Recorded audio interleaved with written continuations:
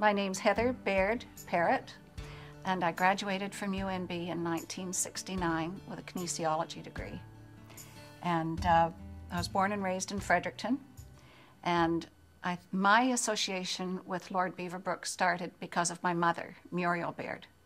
And she was very involved with Lord Beaverbrook as a result of the university, and she was president of the Associated Alumni AE, the women, and their dream was to get a, a residence for girls at UNB because there was none at that time. Anyway, uh, the Associated Alumni had this dream of this residence, and so they, my mother wrote a letter to Lord Beaverbrook asking if he would give his house, which was on the corner of Church and Charlotte, I think that's right, where Maggie Jean Chestnut, where Res- Renaissance College now is. Lord Beaverbrook came back with an offer to them with a stipulation in 1949 that they had to raise enough money to alter and equip his house. And at the time, it was being rented out to managers of the Bank of Montreal.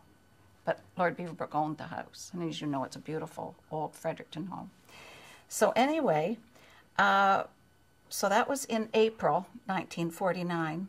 And by October 20th, 1949, it opened. It was a 21 bed facility and it was ready to start as a, a, women's residence. And those ladies of the Associated Alumni raised $28,000. That's 1949. That's a lot of money. And they had bake sales, they had contests. My brother remembers this one. They had to go around downtown and look in the store windows and see what was not right. And different things you'd call in and say, This is not right in Korean's window or something, and somebody would win a prize. but they had to pay to become part of the contest or something. But it was all to raise money. Anyway, they raised their money, they opened the residence, and they also got $20,000 from a half million dollar endowment fund. And that was the first time that expenditure had come from that fund, from the university. And Lord Beaverbrook even though he had said you've got to do this yourselves, he gave $7,000 himself just to top up the pot, I guess. And uh, so, anyway, that was how my mother met him. And they both had this love of Fredericton, children, students. And uh, then he involved my mother with the art gallery when he was opening his gallery, which again was a gift to the province, so that children and people could see world class art.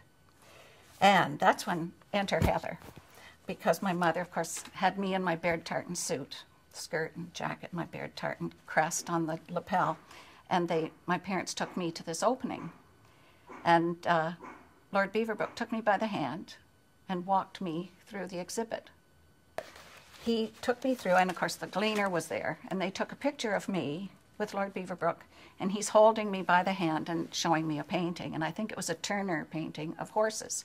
And Lord Beaverbrook sent me a copy of the print, the proper glossy print, signed Beaverbrook, and sent it in a framed, a leather bound frame for me. And I had it for years. When Lord Beaverbrook died, the Gleaner, of course, had a big spread in the Gleaner, and this was Wednesday, June 10th, 1964. And uh, many friends in all walks mourn his passing. He was an intimate of John F. Kennedy. In war, he cooperated with C.D. Howe. John Bassett, Toronto publisher, admired him.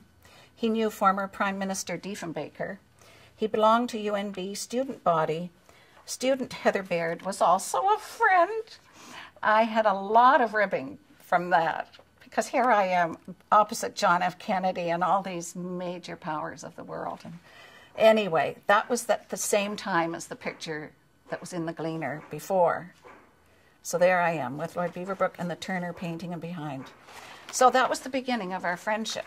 And my birthday was in May, and so was his. And every year on his birthday, he gave people presents.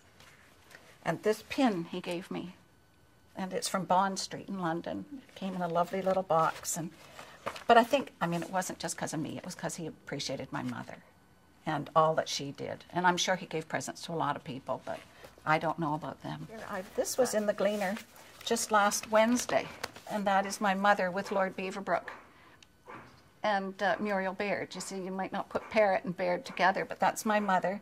And that was when they opened the Maggie Jean Chestnut residence at the time, after their fundraising and everything.